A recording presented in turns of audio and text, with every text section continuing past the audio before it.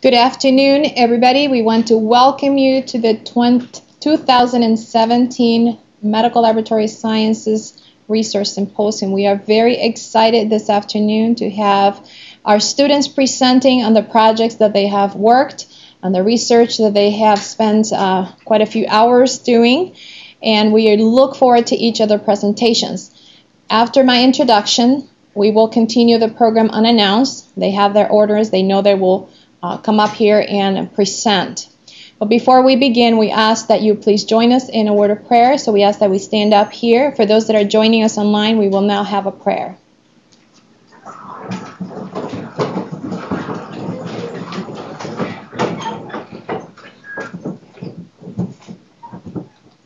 Our gracious and heavenly Father, we thank you again for another day of life. We thank you for the minds that you have created in us and that you have allowed us to be able to have inquisitive uh, spirits. And this afternoon, Lord, we share the knowledge that the students have learned and the things that they have discovered. We pray, Lord, you be with them and as they present this afternoon.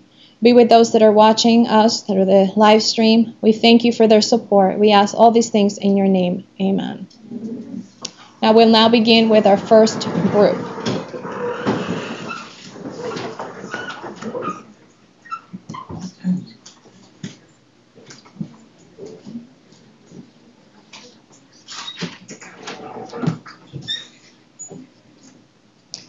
Good afternoon, and thank you for coming to be a part of our research symposium. My name is Christovia Culmer, and these are my colleagues, Adia Russell, Keishani Maifa, and today we will be presenting to you on the topic A Search in Accuracy in Hemoglobin Measurement in an Assay for Wavelength Modification. Our presentation is going to include our research purpose, our hypothesis, our background, methodology, results, discussion, and conclusion. So the purpose of our research was to basically modify the sodium hydroxide method proposed to us by Professor Daniel Gonzalez as an alternative for hemoglobin determination in the clinical lab.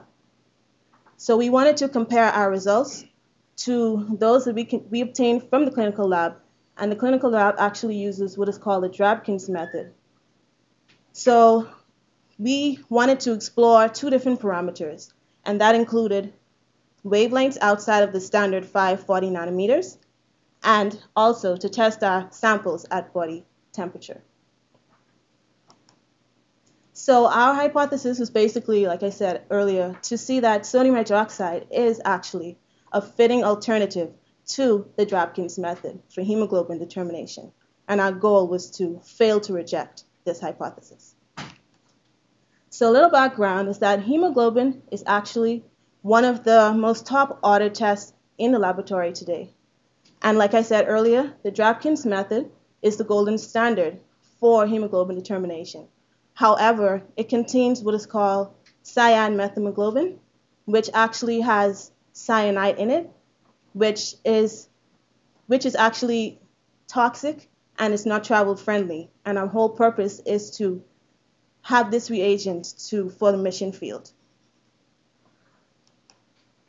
So here we we compare both reagents, and as you can see, sodium hydroxide is easier to make, it's readily available, it's affordable, and travel friendly, as opposed to the Drabkins reagent, which is manufactured, it's not easily obtained, it's costly, and like I said, it is travel restricted. So now Adia will give you some insight on our methodology. So now I will talk about the methodology used for our research. As Christovia said, our methodology was proposed by Professor Daniel Gonzalez. And this method shows that sodium hydroxide is a value, viable reagent. However, we want to improve the method, so it is our goal to improve the method for accuracy. We did this by changing a few parameters, and these parameters include making incubating our samples at 37 degrees, which mimics body temperature, and adjusting the wavelengths to 490 nanometers and 600 nanometers. So I'm just going to go over the steps that we did. The first thing we did was prepare a 0.007 molar concentration of sodium hydroxide. And, and after preparing this reagent, we then prepared the samples using a 1 to 100 dilution. In the original method, a 1 to 1 a 1 to 200 dilution was used. However, after testing our first batch of samples, we discovered that using a 1 to 100 dilution would be better for it. Previous research, previous research have also shown that a higher concentration of hemoglobin may be more suitable for measuring the hemoglobin measurement. Okay. And after preparing the samples, we then incubated them at room temperature to give the reagent time to lyse the cells. And after lysing, after incubating them, we then centrifuged it, and we extracted the supernatant from the from the tube, so that we can further measure the hemoglobin because the the the supernatant is where the hemoglobin is found. Yeah. And after incubate, after extracting it, we then incubated it again at 37 degrees this time, so that we can mimic body temperature. And after incubating it at this temperature, we then measured the wavelength at its respective wavelengths, which is 490 nanometers and 600, 600 nanometers. And after measuring the wavelengths, we then calculated the hemoglobin values using the Bayes, the Bayer law. So now Casey will then give us our results.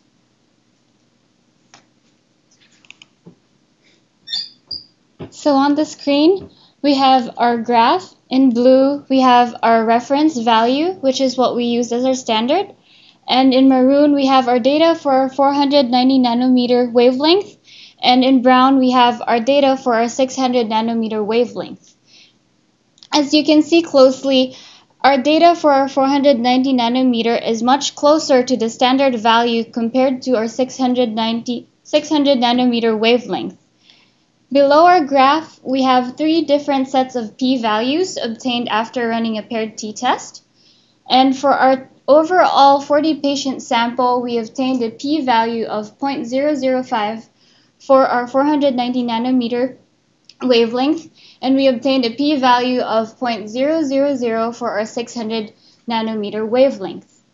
And referring back to the graph, on the left side of the hyphenated line, which is our first batch of samples, you can see that this part of the hyphenated line, which is on your left, it follows a different trend than our second batch of samples, which is on the right side of the hyphenated line.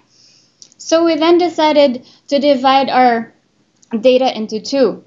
And we got a p-value for our first batch of 0.00 for both our 490 nanometer and 600 nanometer wavelength. And for our batch 2, we got a 0.00 p-value for our 600 nanometer wavelength, but we got a 0.769 for our 490 nanometer wavelength. So then we decided to run a linear regression for our 490 nanometer wavelength, which looks more accurate to us and for this linear regression graph, we aim to get as close as much as possible for, to 1 for our slope value, and we obtained a slope value of 0.68, which is actually really pretty high considering that these outliers you see right here are probably due to the old patient samples that we used, which is uh, our first batch of patient samples. So had we used all new patient samples for our data, what we have right here could have much been closer to one that, in, that it is actually right now. So back to our p-values, what do these mean? So our total p-value and our batch 1 p-values, we obtained a p-value of less than 0.05, meaning that our results were significantly different from each other. However, for a p-value for 490 nanometer wavelength, we got a p-value of 0.69, which means that our values our sample means were close to the hospital values, which means that our results are, indis- are actually indistinguishable from the hospital values. So overall, we found our 490 nanometer results more promising than our 690 600 nanometer wavelength. And by adjusting a few more parts to the method, such as maybe testing more new patient samples and increasing the concentration of sodium hydroxide, it is highly possible that sodium hydroxide can in fact be used for clinical testing in the field. And once proven that this method is actually valid, clinical testing is needed in order for actual patient reporting. Okay, so we would like to give a special thanks to our research mentor, Professor Timothy Newkirk, our research coordinator, Professor Daniel Gonzalez, the chair of our department, Dr. Karen Reiner, and also Dr. Shandelle Henson for helping us with our statistics. Any questions? Yes? How old were our samples? They were a week old. A week old. Oh, The first batch. the first batch. Yes. The time? And the second time we got we tested them the same day we got them. Ah. Mhm. Any other questions? Um, why did you guys choose to use sodium hydroxide as the reagent? So why did we choose to use sodium hydroxide? The reason for using it is because the we we're, we're trying to figure out an alternative, and sodium hydroxide was already already it was already in a trial, which it hadn't really gotten all the way up to accuracy. So we wanted to try and change some parameters to bring it to that accuracy for the mission field.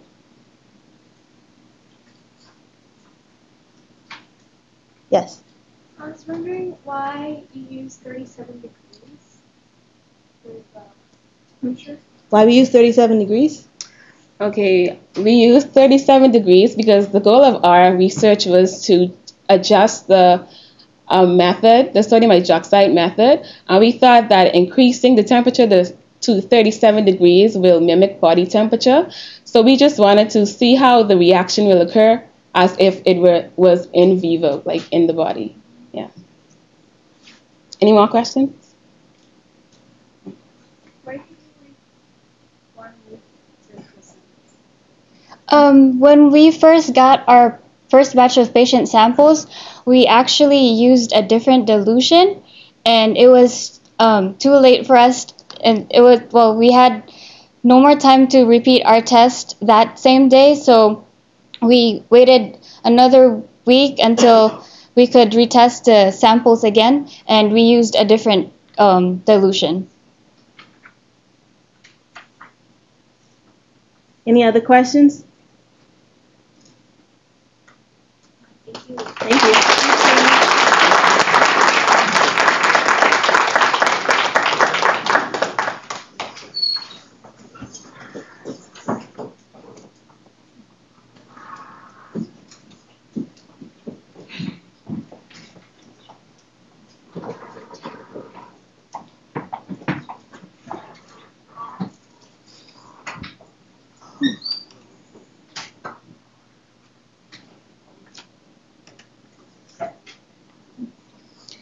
Good evening, everyone. Thank you for coming out to our symposium. My name is Yandra Gilbert, and these are my colleagues. I'm Monique Allen. And I'm Rondi Gordon.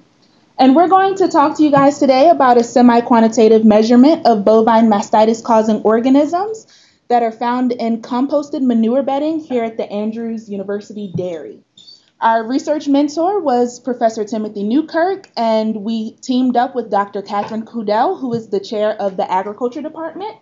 And we're under the supervision of our research coordinator, Professor Daniel Gonzalez, and the chair of our department, Dr. Karen Reiner. So today we'll be talking to you guys about what our question was for research. We're also going to talk to you guys about how we decided to go about answering this question and what we found and why it's significant and why it may not be significant. So when people think of dairy farmers, they typically think of people who milk the cows, and that's the extent of their knowledge about dairy farmers. However, dairy farmers also have a more important job, which is ensuring that there's no bacteria in the milk that we give out for consumption. One of the diseases that um, dairy farmers look out for because of the bacterial pathogens that could infect the milk is bovine mastitis. Um, mastitis is defined as the inflammation of the mammary gland, and in cows, that's called the udder. Bovine mastitis is important because it's the most commonly occurring disease in the bovine species, and there's an the dairy industry estimates a revenue loss of 1.7 to 2 billion dollars per year because of bovine mastitis. So what causes mastitis? Mastitis is caused by bacterial pathogens. These pathogens are typically split into two categories, two main categories, I should say. There, are environmental pathogens and there's contagious pathogens.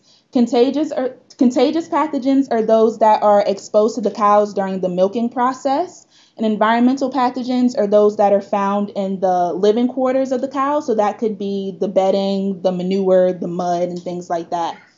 Um, since over the past couple of years, there's been a lot of research and a lot of regulation on how to keep the bacterial load of contagious pathogens down. So we we're focusing on environmental pathogens because those are the ones that are found everywhere in you know typical soil and stuff like that. Um, the primary pathogens that we were looking for for this research was Klebsiella, E. coli, Strep non-agalactiae, and Staph aureus. And the question that we're answering is Are there any mastitis causing organisms present in, present in the bedding at the Andrews University dairy? So another research we question we had was does the Andrews University dairy's composting process contribute to an overall decrease in the amount of bacteria? Composting is an aerobic process in which microbes break down organic materials and aid in the removal of pathogenic bacteria. During our evaluation, we expected to see an overall decrease. We collected 11 samples at certain checkpoints throughout the composting process. This began with the manure being flushed from the cow stalls and drained into what's called an agitator, which is pictured here. The agitator fills with water and homogenizes the liquid. Afterwards, it is mixed with sawdust and taken to another machine which spins the mixture and removes excess moisture. The actual composting process then begins, and 2 by 20 foot piles of this mixture is laid with a long pipe down the middle that aerates the mixture. This is aerated for three weeks at a time, and when the drying process is complete, it is then placed in the uh, stalls two times per week. We took samples at these checkpoints and including samples from the machine that places the bedding in the cow stalls, the sawdust that they mix the manure with, and the bedding that has been in the stalls for one day. Okay, so in order to determine if the bedding contained mastitis causing bacteria, we carried out three main steps. We collected the samples, we cultured them, and then we carried out a few biochemical tests to determine the ID of the microbacteria. So, we, as Monique said, we collected one sample per section, giving us 11 sections in samples in total, and we collected them every Thursday. And we did this because the dairy farmers changed the bedding out every Tuesday and Friday, and this allowed us to get samples that had been under the cow for at least one day and samples right before it goes under the cows. We collected this every Thursday for three weeks, giving us three samples in total. So when we cultured them, we suspended them in sterile saline and then plated them on a MacConkey plate to isolate gram-negative bacteria, a CNA plate to isolate gram-positive bacteria, and a Streptococcus selective plate for those that we suspected were Streptococcus. They were then incubated overnight, and then we carried out a bunch of different biochemical tests to ID the bugs. So on the first week, we tested the sample from the bedding right before it goes under the cow, and we found growth on a CNA plate. We gram stained them and we found that they were gram positive cocci. So we then did a catalase test and they turned out to be catalase negative. We then did a strep quick kit and we found out that it was bile esculin positive and showed no growth in a salt broth. This brought us to the conclusion that it was a Gemella species, which is a part of the Streptococcus non-Agalactiae family. We then found growth on a MAC, however, it was oxidase positive, leading us to believe that it was not Klebsiella or E. coli. On the second week, we didn't find any significant bacteria. However, on the third week, from the sample that was that were in the stalls under the cows for one day, we found growth on the CNA plate. We gram stained it to be gram-positive cocci, and we did a co- coagulase and a catalase test. They were both negative, and we found no growth on a streptococcus plate. This indicated that it was neither Staphylococcus aureus or Streptococcus non-Agalactiae. We found growth on a MAC, and it was oxidase negative, leading us to do an API strip, which gave us the conclusion that it was Escherichia coli. So this graph represents the amount of bacteria found throughout the composting process.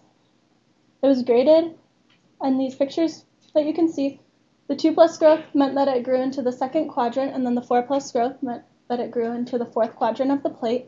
It was taken from the fresh liquid, the after the moisture had been removed from the bedding, and then uh, in weeks where it was being dried, and then the final product directly before it was placed into the uh, cow stalls. As you can see, we did not find a overall decrease in bacterial load over the composting process. So in conclusion, we identified two species of bacterium which are known contributors to bovine mastitis. Uh, this includes Gemella, which is within the Streptococcus family.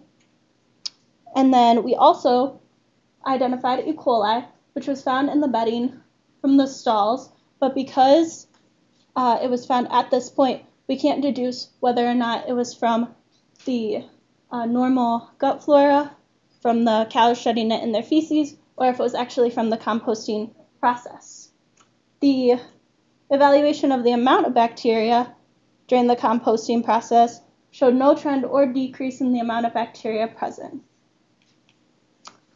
Furthermore, research could be conducted to determine if the bovine mastitis contributing agents are present throughout the entire composting process, as well as more research that could be done to determine what other environmental factors may play a role in the contribution to bovine mastitis.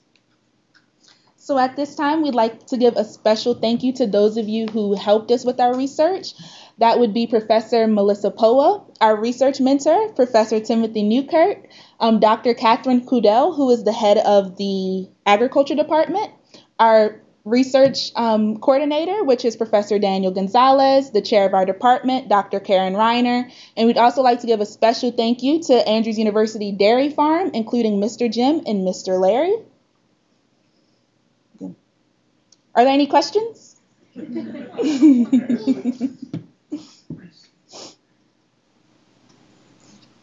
so why did you guys only ID the organisms in the last couple? She asked why we only ID'd the organisms that were in the last steps. This is because they were coming into direct contact with the cows in the stalls. I have a question I'm getting from somebody watching. Mm-hmm. Uh, they say, why did you choose to search for only certain bacteria? How did you choose them, such as E. coli and Klebsiella? Okay, so we they asked why did we choose to only look for those four Yeah, organisms? Specific organisms. Those specific four organisms, and those organisms were Klebsiella, E. coli, Staph aureus, and Strep non-Agalactiae. We chose that those four because previous research shows that those were the um, organisms that were known to cause bovine mastitis most frequently. I have another question that was posted in our online feed, uh, and they were asking if you can reiterate why um, you chose to collect the samples on a specific day. I think you mentioned Thursday. Oh, we chose it on Thursday. Oh, the question was why did we choose to collect the samples on Thursday, such a specific day? And we chose that because the dairy farmers change out the bedding every Tuesday and Friday, and this allows us to get samples right before it goes into the stalls for the cows and right one day after the cows have been on them. Are there any more questions? I think there's someone that's trying to write something like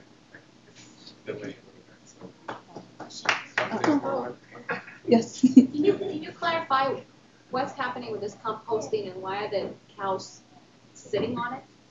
Can you, ex- can you explain what, what's the Um, process here? So they're recycling the manure and mixing it with sawdust to make the bedding in the stalls. So the composting process is supposed to decrease the bacterial load, and then they get it in the stalls. Anything else? No? Okay. Okay. Thank you.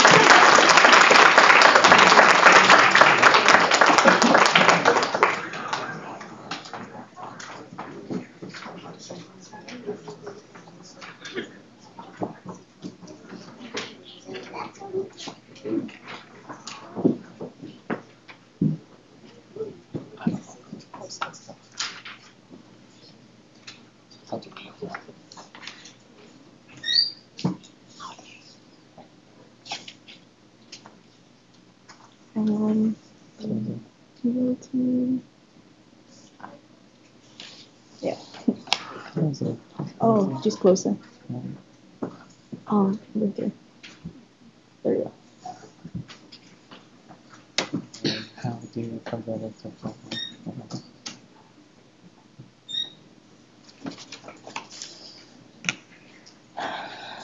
All right, good afternoon, everyone. Uh, my name is Abdul Fattah, and this is my um, teammates, Annie and Addis. And today we're going to talk about the survival of probiotics bacteria after exposure to an in vitro digestive environment. And um, I'm going to talk about the purpose and hypothesis. And uh, Annie is going to talk about materials and methods and results. Um, Adis is going to talk about the conclusion and discussion. So, what are probiotics? Probiotics are good bacteria that are um, similar to the bacteria that we have in lower digestive tract. And our lower digestive tract have um, a greater amount of bacteria than uh, red cells that we have. So that's why our uh, lower digestive tract is a good environment for these bacteria to grow. And there are um, some benefits of probiotics include reduction of cholesterol, cancer prevention, um, enhancement of immunity, and improvement of intestinal health. And um, there are many kinds of probiotics in the market. And we wanted to compare different source, sources and see um, how would the probiotics uh, survive.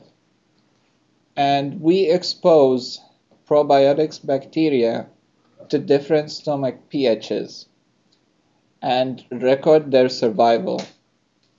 And also, we wanted to determine how enzymes affect the survival of bacterium in the stomach.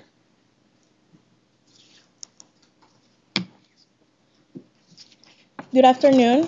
I'm going to be presenting the materials and methods from our experiment. We decided to have three different sources of bacteria. That one, uh, there are Nucific BioX probiotics and True Nature and Activia. Um, Nucific BioX are probiotics that contain uh, bifidobacterium and lactobacillus, as well as enzymes such as lipase and amylase. Lipase and amylase are used to uh, break down lipids and starch. True Nature only has um, lactobacillus and bifidobacterium, and Activia contains lactobacillus and um, bifidobacterium, as well as Streptococcus thermophilus. Streptococcus thermophilus uh, helps to break down lactose, and this is good for people that are lactose intolerant. from now on, on our experiment, um, on our presentation, when we refer to Nucific BioX, we're going to refer to it as pills with enzymes, and the true nature are going to be the pills with, without enzyme. We also use hydrochloric acid to simulate the pH of our stomach, as well as beakers, uh, magnetic stir bars, and two different agar plates. In our method, we use for control, we dissolve the pills in DI water, and then we um, dissolve hydrochloric acid with DI water to obtain the two different pHs. We mix them together and test them with a pH strip to achieve the desired pH. We um, mix them until we reach 700 mLs of product. And then we digested the pills um, with enzymes, without enzymes, and the yogurt for 25 to 30 minutes, continuously mixing them with a stir bar. Um, in our method, methodology, we um, incubated them in two different plates, lactobacillus agar and anaerobic CDC plate, and we did that for 48 hours in anaerobic and capnophilic conditions. In our results, in this graph, we divided it into groups. The first group is the lactobacillus agar, and the second group is the anaerobic blood plate. The first row, which is the blue one right here, is um, representing the pills with the enzymes. As we can see, there was no growth for both plates at any pH or control. The second row, the red uh, columns, represent the pills without the enzymes. Uh, we can see that there is growth for the control and the pH of 4 for both agars. And the last row, the third one, the green row, is representing the yogurt. And we can also see growth um, for the control and the pH of 4 for both agars.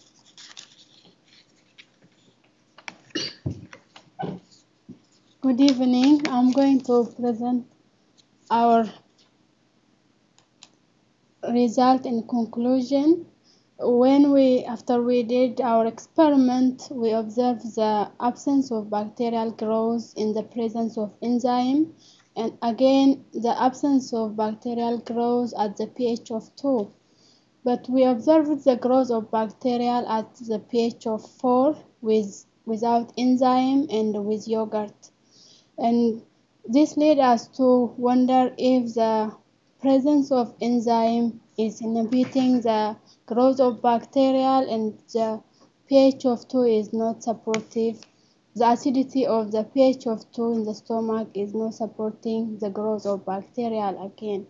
So we are wondering if the absence, the presence of enzyme is inhibiting the growth of bacterial and the pre, at the pH of 2 also it is, there is no growth even with the yogurt with the pill with enzyme and without enzyme so this may be the field for future study to what is the cause of the, what is the cause for of enzyme against the bacterial growth if it is inhibiting or if it has some other relation so uh, at the pH of 4, when we observed the growth of bacterial, it was a good amount of bacterial, which can lead us to conclude our experiment.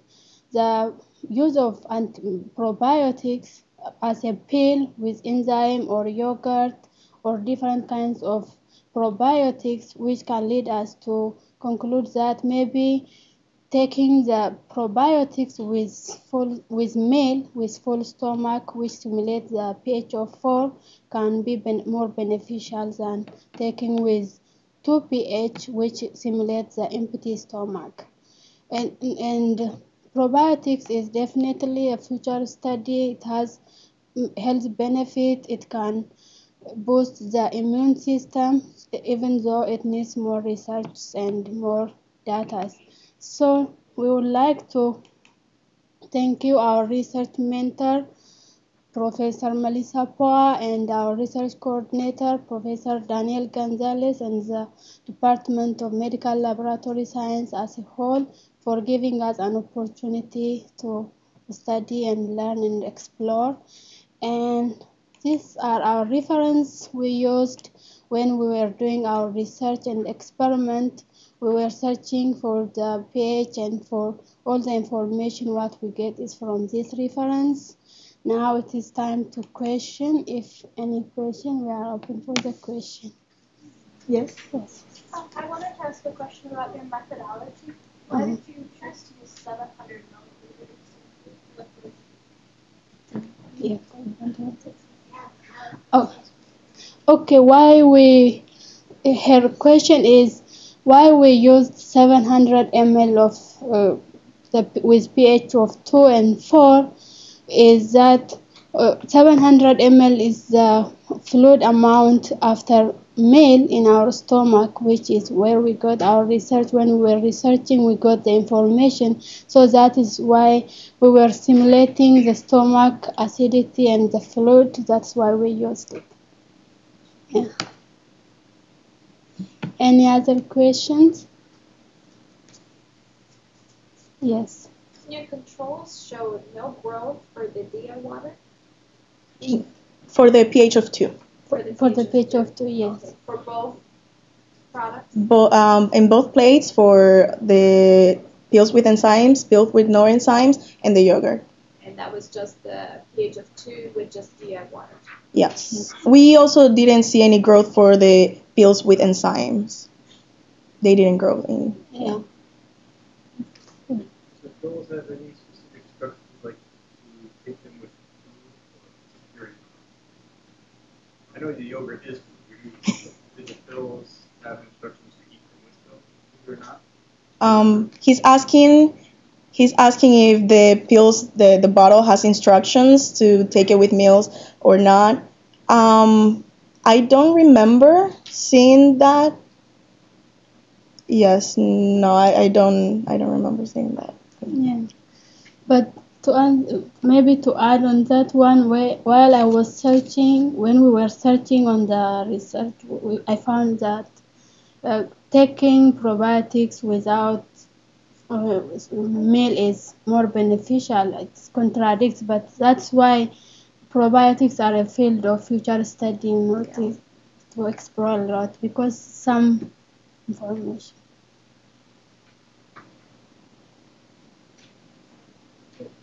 Merci.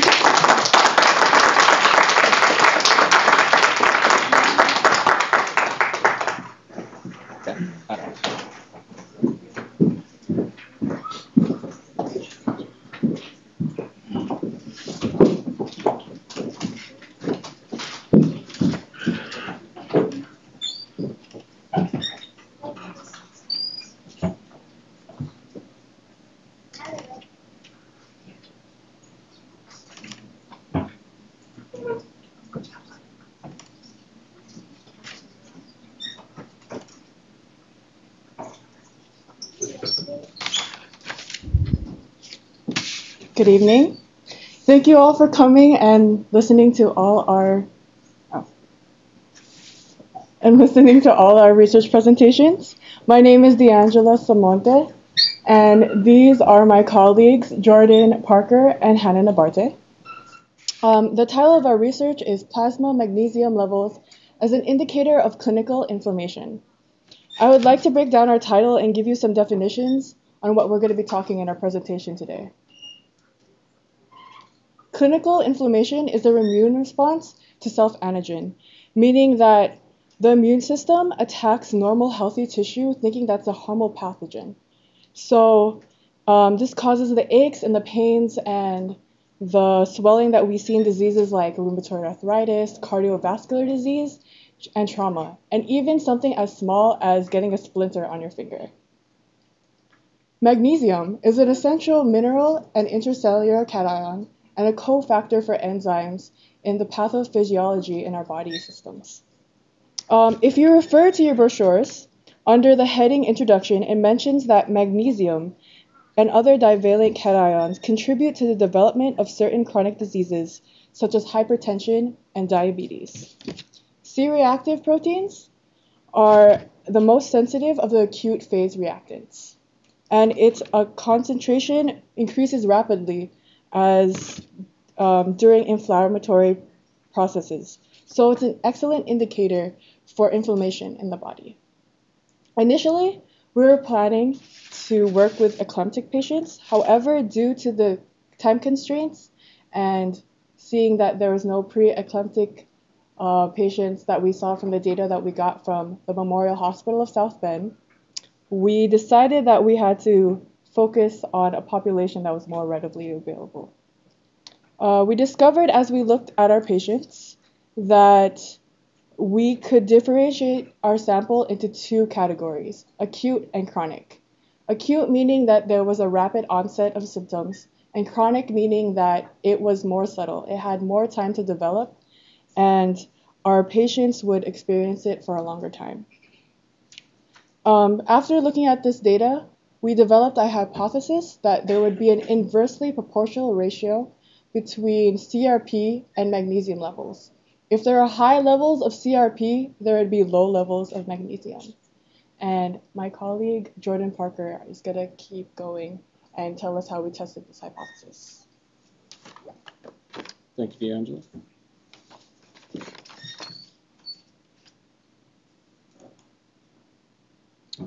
As she just uh, stated, um, we were looking for correlation in magnesium and CRP in uh, either acute or chronic conditions. Uh, therefore, we had to uh, develop a correlational analysis that pertained to these two variables, CRP and magnesium.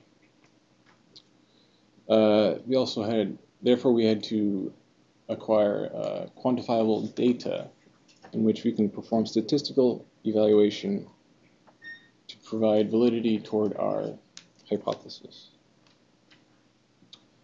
Uh, our sample testing, yeah. Oh. Our sample testing began at Memorial Hospital of South Bend, where they were able to provide uh, records of serum analysis starting from January to November 2017. Criteria for our samples required um, obviously CRP levels and magnesium, but both levels had to be measured uh, within 24 hours. Um, in addition to those, uh, South Bend provided uh, the sex of the patient and um, the original complaint. We would also like to mention that uh, no patient identifiers were provided in the data. Uh, therefore, our data cannot be traced back to the original patient. Uh, South Bend uses the Cobas 6000 for this type of specimen analysis. Um, just to mention, uh, mention a few things. Uh, it is an efficient analyzer. Uh, it can produce, uh, process over 200 different types of analysis at a rate of 600 tests per hour. It's a modular system um, consisting of a uh, immunochem module and a chemistry module. our samples required uh, the use of both modules. Uh, high sensitivity CRP was measured in the immunochem module, uh, which would be the one on the far right there. Uh, it used a particulate enhancement immuno, immunoturbidimetric assay. This, uh, this test uses latex particles coated in uh, antibodies towards the CRP. the CRP in this case would be acting as the antigen. So the test chamber consists of excess uh, particulate reagent uh, with the addition of uh, a measured volume of uh, the serum. So the serum and the uh, reagent are allowed to react, and then after a wash, the concentration is determined by the transmittance of light through a sample. The less transmittance means higher turbidity and higher concentration of the solution. Therefore, the inverse, uh, therefore, this is an inver inverse relationship between transmittance and concentration. And uh, CRP was measured in milligrams per liter. Oh, too soon. Uh, magnesium was measured in the chemistry module. Uh, it uses uh, utilizes a colorimetric endpoint method to measure serum magnesium levels. In this method, magnesium forms a complex with xylidin blue reagent, the concentration is photometrically, uh, oh, I'm sorry, the concentration is measured photometrically via the decrease in absorbance of xylidin blue. So again, it is another inverse relationship. So as we see a decrease in uh, uh, absorbance, we will see an increase in uh, magnesium concentration. And magnesium was measured in milligrams per deciliter.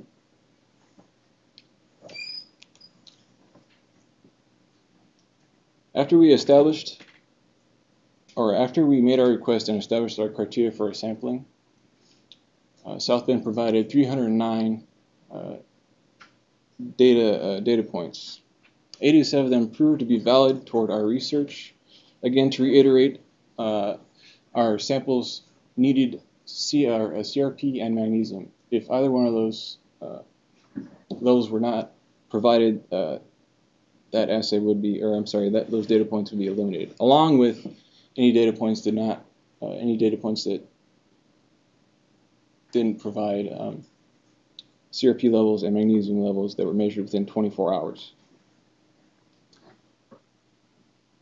Uh, after separation of our um, data points, our 87 valid points were separated into chronic and acute conditions. Chronic conditions were defined as CRP levels less than um, 5 milligrams per liter, and acute conditions were defined as CRP levels greater than 5 milligrams per liter. So after we were able to separate into chronic and acute conditions, we uh, graphically plotted our our data on a scatter plot to visualize to provide a visual reference of the correlation. And in addition, we also produced a Pearson's R value to demonstrate the strength of our correlation. And at this point, I'll have Hannah articulate the results. Okay. Um, so continuing after um, where Jordan left off, I will be addressing the statistics we use to observe. um, I will be addressing the statistics we use to observe the data and determining whether or not in determining whether or not our um, hypothesis was true. Um, the first thing we did was graph our points on a scatter plot. Um, and this is a visual, um, this will provide a visual aid to see if there was any linear reg regression. Then we use the P Pearson's R correlation coefficient to determine the extent to which our two variables, magnesium and CRP, are related. The closer the R value is to 1, the stronger the correlation. And the closer the um, R value is to 0 means no correlation at all. And lastly, we used the p-test to determine whether or not our results were significant. If they were less than the 0.05, we could accept our alternative hypothesis. If it was above, we would accept our, um, we'd have to accept our null hypothesis. Okay.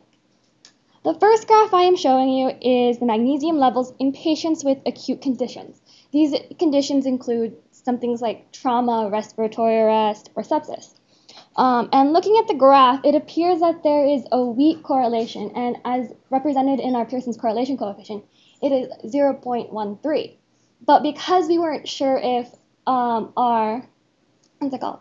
If our outlier was causing this regression, we redid the statistics and found out that our Pearson's correlation coefficient was actually much lower. And this value is suggestive that there is no correlation at all. And same thing with our p-value. Our p-value is high, so we can say that this is not significant and our data, there is no correlation. Um, next is our magnesium levels in patients with chronic conditions. And some of the chronic conditions that our patients exhibited was hypokalemia, and aphasia. Um, here you can see that there is a negative linear regression and our Pearson's correlation coefficient is negative 0.82 and that is pretty close to um, a value of 1. So we can say here that our value is clinically significant or a strong clinical correlation and our p-value was really low which means that it is significant.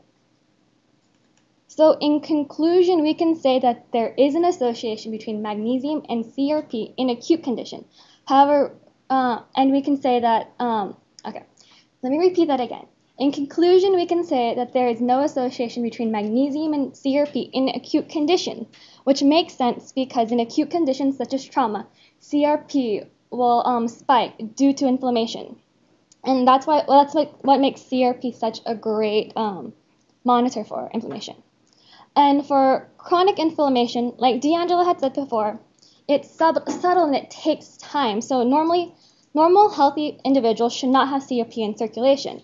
Um, and I believe that's why we could see a trend with our chronic disease. And I want you to, I want to ask you to open your pamphlets and look at the graph. And I will go back to the graph. Um, I want you to notice our um, normal range and our values that we got in um, chronic conditions. All of our, the majority of our data points, they all fall within normal levels of CRP. And we find that, the, that this is significant. Perhaps that this is suggestive that maybe the normal levels of magnesium needs to be reevaluated, perhaps a lot more narrower than we thought it would be. Um, we also believe that this could possibly be an indication of like um, chronic disease as it progresses. Maybe, as you could see, magnesium levels are much more higher as your C-reactive proteins are lower and decrease. Perhaps um, magnesium could be a way we can monitor chronic disease and perhaps catch it before it um, it gets it progresses. And another thing that we noticed, our samples were randomized, but in chronic inflammation, um, out of the 30 points that we got, 22 of them were female, Perhaps this is suggesting that women are more prone to chronic disease, or maybe that we could use magnesium as an indicator for that. And from trying to answer our question whether or not there is a correlation between CRP and magnesium, we ended up coming up with many more questions that could be studied in further research. So before we go to questions, um, we wanted to thank uh, Memorial South Bend for giving us the data, specifically Noel Khan, who is the clinical specialist over there. And last but definitely not least, we would like to thank our research mentor and our research coordinator, Professor Daniel Gonzalez, for helping us sort out the data, as well as guiding us throughout this whole entire experience. So now I will open the floor for questions.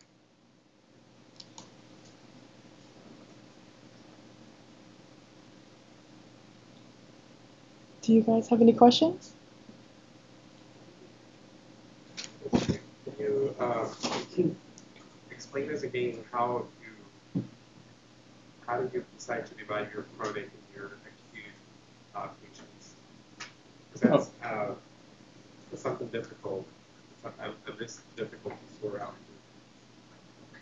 Oh, okay. Um, uh, well, when we were provided our data, we were able to we were provided CRP levels, and based on our CRP levels, um, we divided chronic conditions based on our CRP, which is defined by levels of five, uh, five milligrams per liter and below, whereas acute is defined by CRP levels above five milligrams per liter.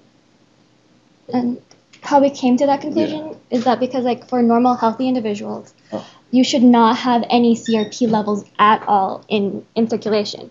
So like for chronic conditions, um, CRP inflammation, you would expect it to accumulate over time. That's why we had the normal CRP um, values within, uh, we labeled that as chronic conditions. And then anything above five was the acute conditions. Any other questions?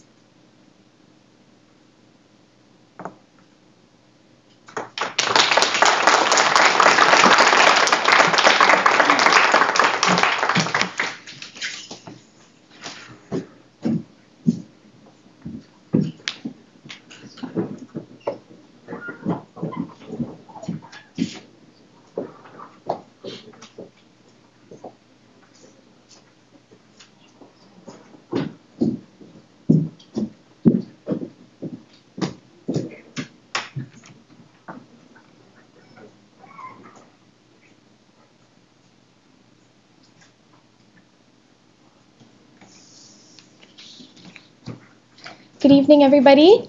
My name is Iris Pagarigan. And my name is Sandy Tinoco. And today we will be presenting the standardization of clinical laboratory assays panel for metabolic syndrome.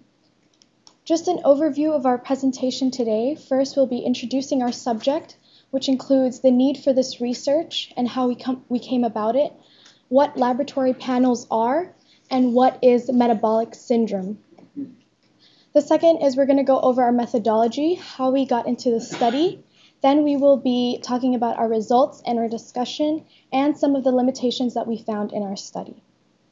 This picture right here is taken in Honolulu, Hawaii, and this is a picture of Queens Medical Center, and this is how we came about with our research. Queens Medical Center reached out to MLS professionals due to the fact that they were having a problem because their budget was being depleted because laboratory tests, I'm sorry, laboratory tests that were not being reimbursed by insurance companies due to the fact that they were not meeting medical necessities. A medical necessity defined by Centers for Medicare and Medicaid Service is are medical conditions for which a lab test service is reasonable and necessary. That means that the medical condition of the person would either increase or decrease that laboratory test. Um, one of the ways we found to solve this issue that Queens is having is the introduction of laboratory panels. Hepatic panels and renal panels are in use today and they are available for them to be used, but one of the problems that um, um, their population is having is the disorder metabolic syndrome, and there is no laboratory panel that has been um, developed for the analysis of metabolic syndrome panel. Our research, our goal was to have an operational study to establish a laboratory panel for metabolic syndrome that would satisfy the medical necessity guidelines. Okay, so what is a laboratory panel? It's a group of tests that are ordered to determine a person's general health status. Its pa- panels increase sensitivity, specificity, and overall they help reduce cost. So the Medical Foundation in South Bend utilizes panels in their laboratory facility. Some of the panels that they use is the hepatic function panel, the renal panel, and the OB panel. And here's an example of the hepatic function panel. These are the analytes that are that make up the hepatic function panel, and it includes your albumin, your bilirubin, which has your direct and indirect, your ALP, your total protein, your ALT, and your AST. Now that we have gone over what a metabolic laboratory panel is, we're going to go over what metabolic syndrome is. Metabolic syndrome is classified as a syndrome because there has been no single cause found to be causing metabolic syndrome. Some of the risk factors that have been associated with this syndrome is type 2 diabetes mellitus, atherogenic dyslipidemia, elevated blood pressure, and elevated blood glucose. All these risk factors together have been proven to promote the development of atherosclerotic cardiovascular disease. It is also associated with prothrombotic and pro-inflammatory state. Our methodology in our research. First, we looked at various research articles to determine what really is a metabolic syndrome and what are laboratory panels. We looked at government regulations because we wanted to fit the need of medical necessity, and we looked at established diagnostic criteria. What you see on the screen right now is one of the diagnostic criteria we looked at. This is an ATP number three laboratory diagnostic criteria for metabolic syndrome. ATP stands for adult panel, adult treatment panel, sorry. And the ones that are related to the lab are elevated triglycerides, reduced HDLC, which is high density lipoprotein cholesterol, and elevated fasting glucose. So for our results, these are the tests that we chose for our metabolic syndrome panel.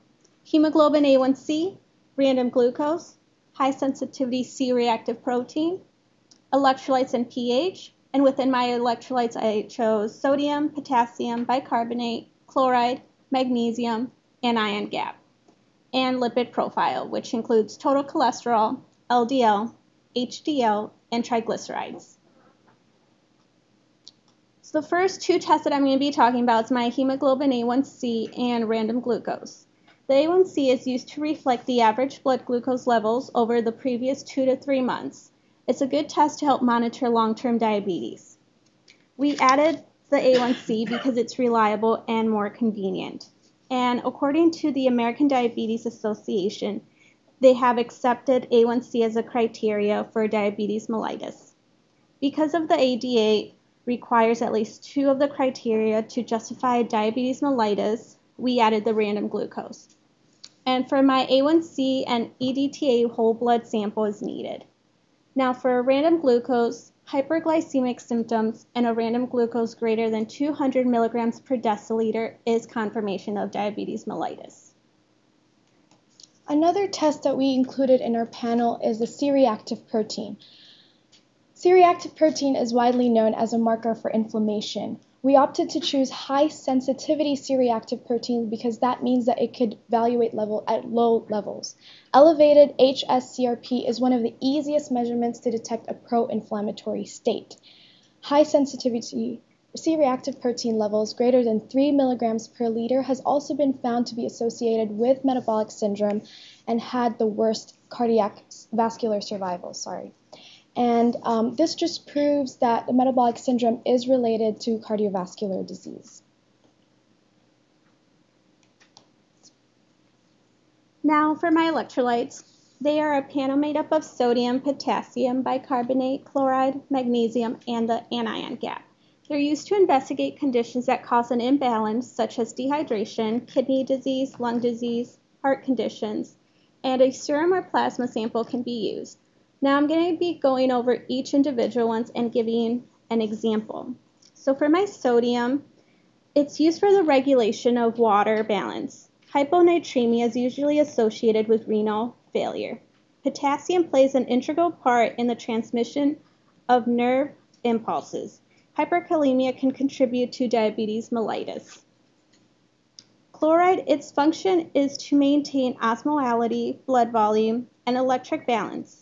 In hyperchloremia, since there is a loss of bicarb, this results in metabolic acidosis. My bicarbonate is a major form of CO2 and it acts in the bicarbonate carbonic acid buffer system to buffer any sudden changes in blood pH. In increased levels of bicarb, we see metabolic alkalosis because my bicarb is being retained. Magnesium plays an important role in the metabolism of carbohydrates, fats, nucleic acids, and proteins. Research has found that low levels of magnesium is found in type 2 diabetes mellitus. And finally, my anion gap. It's a difference between unmeasured anions and unmeasured cations and renal failure tends to have an elevated anion gap. And pH.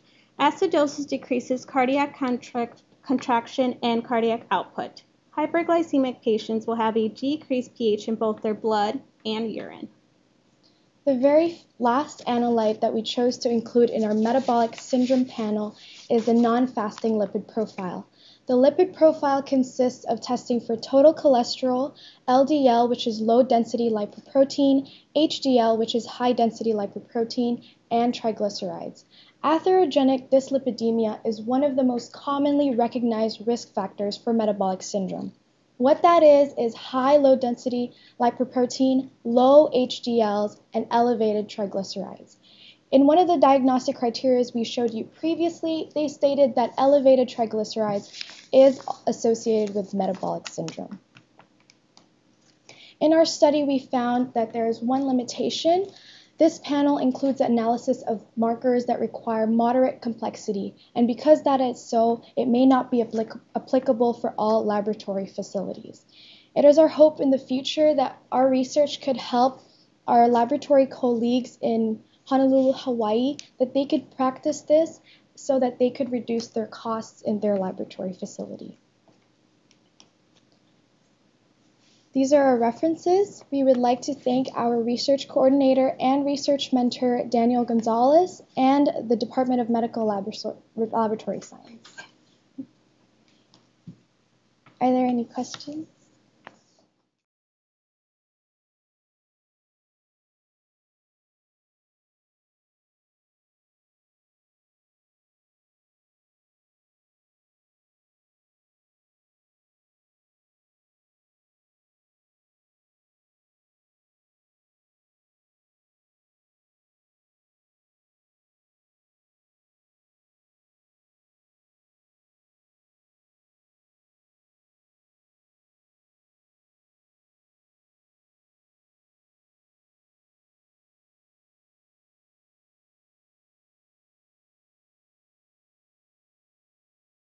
Comprehensive metabolic panel will not get covered by insurance. Yes. Um, so I was wondering, did you get any indication of how difficult it might be to take your panel to the next step and have it qualified to pass medical necessity? Um, you mean like to take it to Hawaii? To take it to the point where Medicare and Medicaid would say, yes, Yes. you're allowed to use this panel for certain Um, what the only issue is with Medicare and Medicaid are the ones who reimburse them. So, with enough study, if other laboratory facilities would choose to include, this is just a standard, so they could still include more depending on their needs, of course. And so, um, it's up to the laboratory facility if they'll be willing to use it. And for ours, we were hoping that it will meet the medical necessities of the patient because that's what they were having an issue with. Because the um, analytes were not meeting the medical necessity, they were required to pay for the laboratory test instead of the patient. And that's why um, we chose to narrow it down to just analytes that are directly related to metabolic syndrome. Just to follow up though, Yeah. would, would those included in your proposed panel be meeting medical criteria? Yes, well, we used the diagnostic criteria that we showed, the adult treatment panel, number three, that was already being in place. So that technically would meet. Yes, because we we uh, we yeah we addressed their elevated triglycerides. The laboratory wise, we we we addressed the elevated triglycerides, um, fasting glucose. Although we did replace it with HbA1c and the HDLC.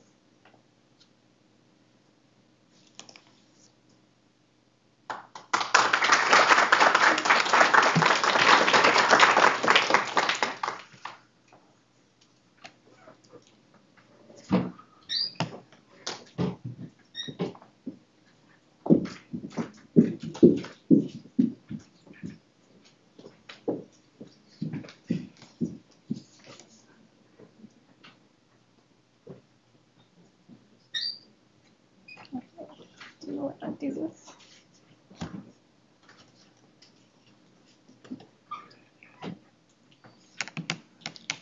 And it.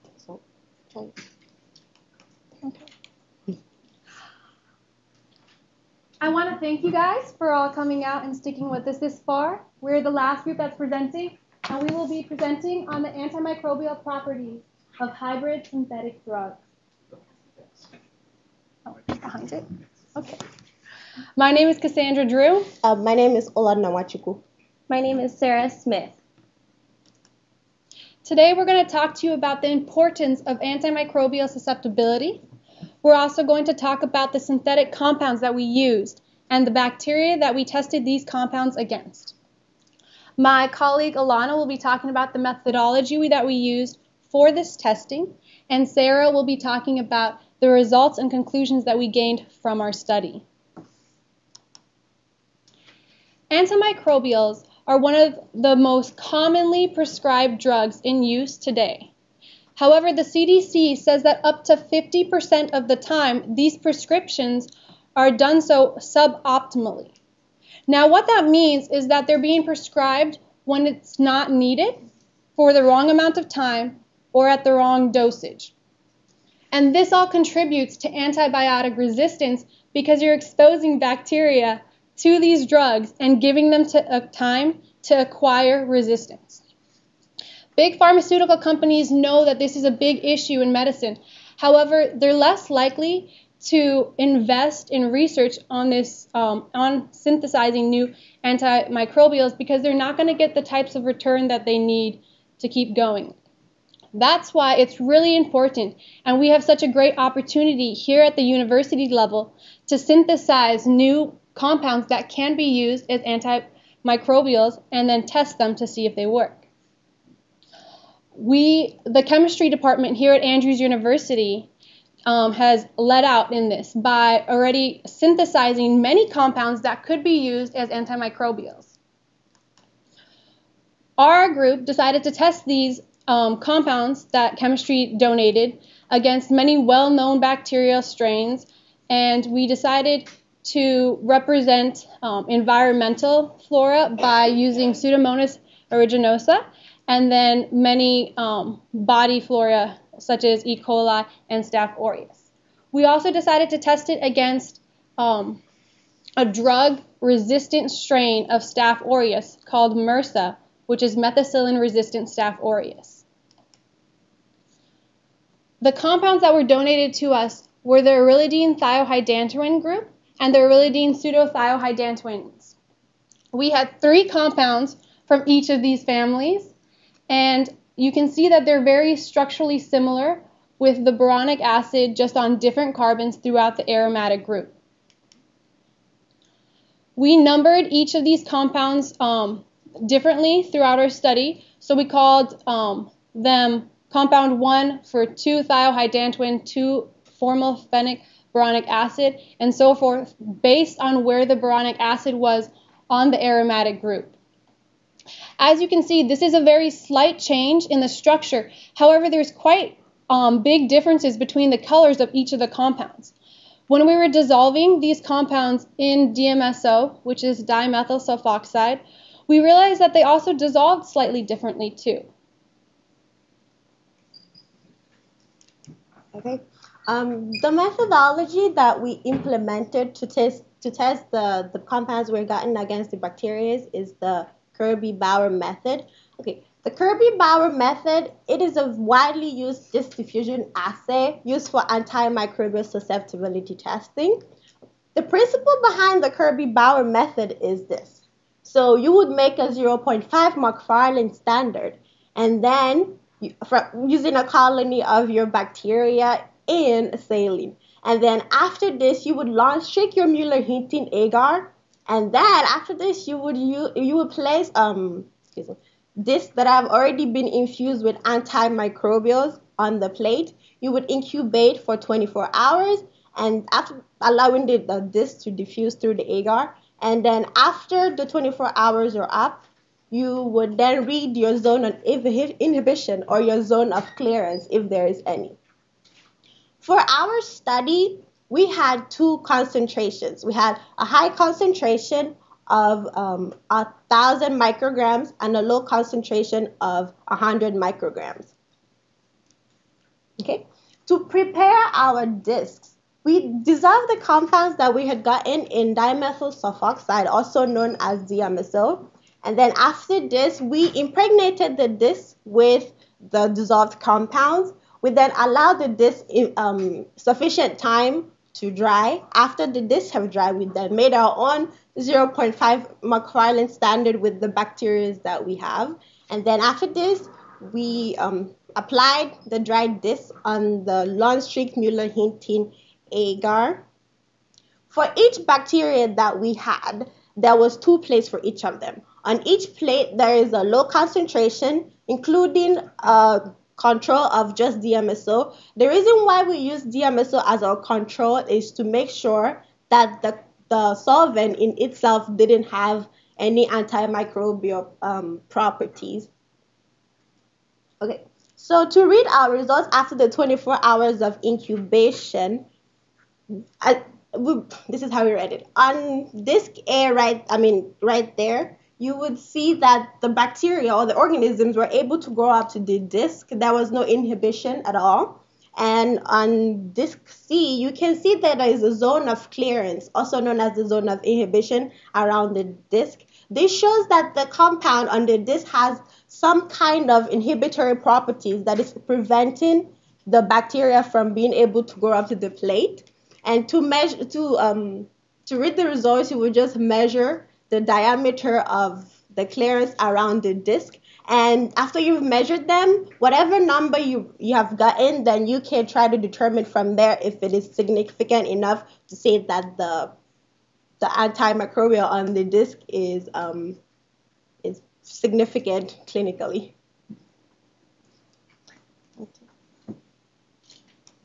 So for our results, uh, as Ulana mentioned, we tested our compounds at a low concentration and also at a high concentration.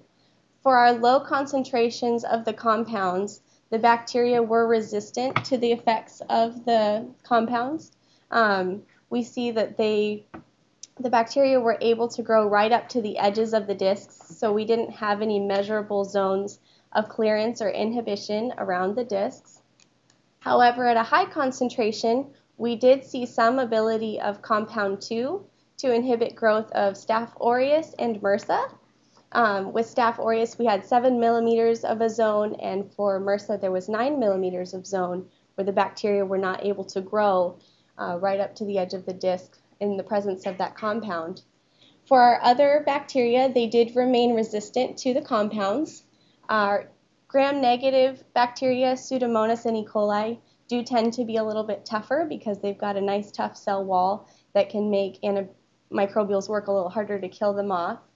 And also Enterococcus, it, even though it's gram-positive, it's a gut flora that's exposed all the time to the antibiotics that we take, and so it's developed a lot of resistance to many things that we use to try to halt its growth. So here you can see our plates where our bacteria were resistant to the compounds. You can see that the bacteria were able to grow right up to the edges of our discs, so they're able to grow in the presence of the compounds. We do see also, though, that we had good um, diffusion of the compounds into the agar. Our compounds were nice and colorful, so we can see the color diffusing away from the discs shows that there was a good concentration gradient of the compounds, which is important in Kirby-Bauer testing, so we were glad to see that. And so in summary, our most promising compound for an antimicrobial was compound 2, which was able to inhibit the growth of Staph aureus and MRSA to some extent. We certainly saw that that ability was correlated to the concentration of the compounds. At a low concentration, the bacteria were still able to grow, but when we increased the concentration, we did inhibit some of the growth of the microbes. And we were also interested to see that the uh, zones of inhibition were similar for Staph aureus and MRSA. MRSA is much more resistant to many commonly used antimicrobials than regular Staph aureus, but in this case, there was no significant enhancement of its ability to resist the compound. So that was interesting to note for us. So further research should include testing these compounds at higher concentrations. We saw in our literature review that um, similar compounds were effective against a variety of gram-positive and gram-negative organisms when they were tested about 150 milligrams per disc, which is about 150 times our high concentration that we were able to use in this study. So it's possible that these similar compounds might be much more effective if they were used at a much higher concentration. And also the number of microorganisms tested could be expanded to see if there's other microorganisms that might be susceptible to these compounds. And also it's good to note that this isn't the end of the line for these uh, synthetic compounds either. Uh, the chemistry department is facilitating other research that will look at the biological activity of these compounds and they're new and we're excited that we're able to add a piece to that knowledge by testing the antimicrobial properties of the compounds. Um, okay, we would like to um, especially thank our mentor, Professor Tasha Simpson. Thank you so much for sticking with us through this whole time. I know we struggled, but thank you so much for helping us out. To Dr. Desmond Murray, Thank you so much for providing us with the compounds and keep up the good work in the chemistry department. To Professor Melissa Poa, thank you so much for the for your help in our methodology for um, helping us out when we really needed it. And to Professor Daniel Gonzalez and Dr. Karen Reiner, thank you for organizing this wonderful research symposium. And at this time, we will be taking any questions that you guys have.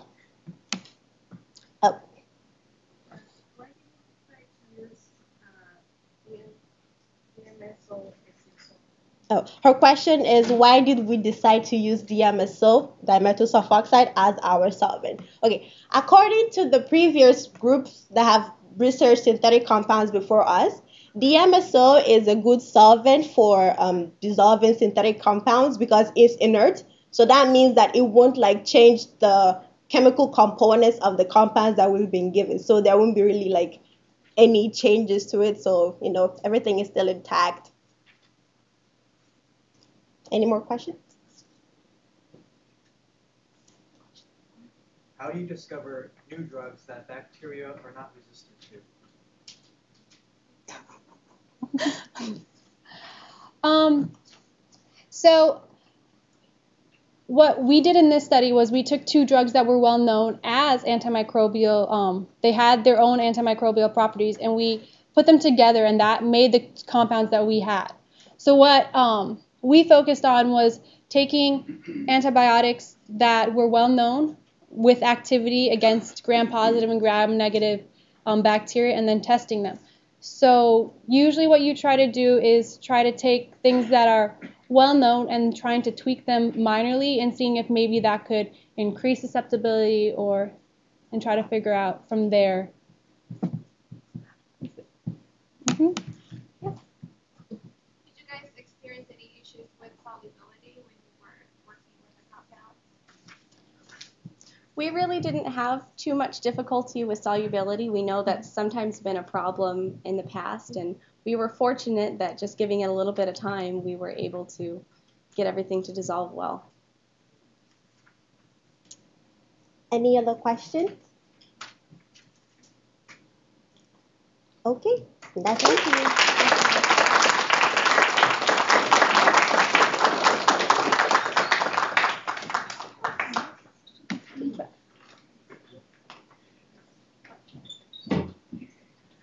Would like to thank you for attending our uh, MLS Research Symposium. Uh, let's give another round of applause to everybody that worked very well on this. And uh, for those of you that are watching online, also thank you for joining us. I know uh, we had a lot of um, alumni from this program watching all the way from the West Coast in Loma Linda uh, to the East Coast in Johns Hopkins. So thank you for that. And I would like to ask uh, our dean if you would have a word of prayer for us uh, to close this program, and um, we can finish. Let's pray. Father in heaven, thank you for the opportunity to learn this uh, wonderful institution, for the privilege of learning, for health and strength, and the ability to process and peace. We pray that you continue to bless this uh, faculty and the students, and that you continue to help us as we work to assist this facilitated learning. We pray for your guidance and direction, protection from danger, from harm, and from temptation, that all may be well because of you. Pray in Jesus' name. Amen. Thank you for coming. Uh, for those of you that are